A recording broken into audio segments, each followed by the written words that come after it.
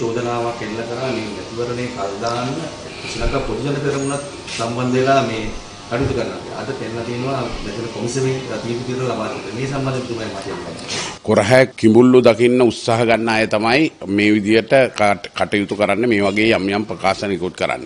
ඒ වගේම පැහැදිලිවම අතිගරු ජනාධිපති රනිල් වික්‍රමසිංහ මැතිතුමා ප්‍රසිද්ධ ප්‍රකාශයක් ක්‍රියාත්මක කරලා තියෙනවා මේ මැතිවරණය කොහෙත්ම කල් දාන්න නැහැ කියලා. ඒක අද ඔප්පු වෙලා තියෙනවා. ඒක නිසා විහිළු සපයන සමහර නායකයින්ට දෙන්න තියෙන උත්තරේ තමයි මැතිවරණ කොමිසම මේ දැන් ලබා දීලා තියෙන්නේ. ඒක නිසා අපි පැහැදිලිවම කියන කාරණය තමයි දැන් ඒ අයගේ ජනප්‍රියතාවය ඉතාමත්ම හීන වෙලා තියන්නේ. ඔවුන් හිතාගෙන හිටියේ ජනාධිපති වෙන්න පුළුවන් ජනාධිපතිවරණය ජයග්‍රහණය කරන්න පුළුවන් කියලා ලොකුවට හිතාගෙන හිටපු අය දැන් දන්න තමන්ගේ තත්ත්වය මොකක්ද මේ රටේ බිමේ ඉන්න ජනතාව කොහොමද ඒ අයට දක්වන ප්‍රතිචාර කියලා. ඉතින් ඒක නිසා ඒ අය විවිධ උපක්‍රම යෙදවා මේක කල්දාන් හදනවා ඊළඟට මේ මැතිවරණය කුමන්ත්‍රණයක් කරන්න හදන්නේ ජනතාවගේ ප්‍රජාතන්ත්‍රවාදී අයිතිය නැති කරන්න හදනො කියලා බොරුවට උඩුබුරපු කට්ටිය පැහැදිලිව දන්නවා කලට වේලාවට මැතිවරණය තියන්නම ඕන කියලා. ඒක තියන්න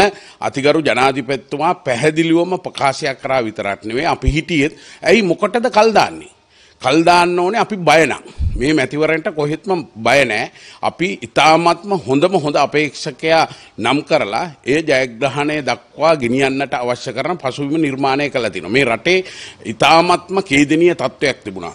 ගෑස් පෝලින් තිබුණා, තෙල් පෝලින් තිබුණා, ඊළඟට අත්‍යවශ්‍ය ආහාර ගන්න බැරි වුණා, ඩොලරය ඉහළට ගියා, රුපියල මස්තබාල් දුණා. මෙවැනි අවස්ථාවකදී මේ රට යම් ස්ථාවර තත්ත්වයකට ගොඩනැගිලා තියෙනවා. ඒක නිසා මේ රටටත් මේ රටේ ජනතාවටත් ආදරය කරන අයගෙන් මං ඉල්ලා සිටින්නේ බොරුවට බේද වෙලා එක එක පක්ෂවලට ගිහිල්ලා පක්ෂවල න්‍යාය පත්‍රය ක්‍රියාත්මක කරනවට වඩා තමන්ගේ පටු දේශපාලන අරමුණු ඉටු කරගන්නවට වඩා හොඳම දේ තමයි වඩාත්ම ගැලපෙන රට ගොඩනගන්න පුළුවන් නායකත්වයත් එක්ක එකතු වෙලා මේ රට සංවර්ධනය කරන්න මේ රට ලෝකේ දියුණු රටක් බවට පත් කරන්නට ඒ වගේ මේ රටේ ඉන්න හිටින්න පුළුවන් තරුණ කොටසක් අපි නිර්මාණය කරන්නට වැඩ කටයුතු කරන්න ඕනි.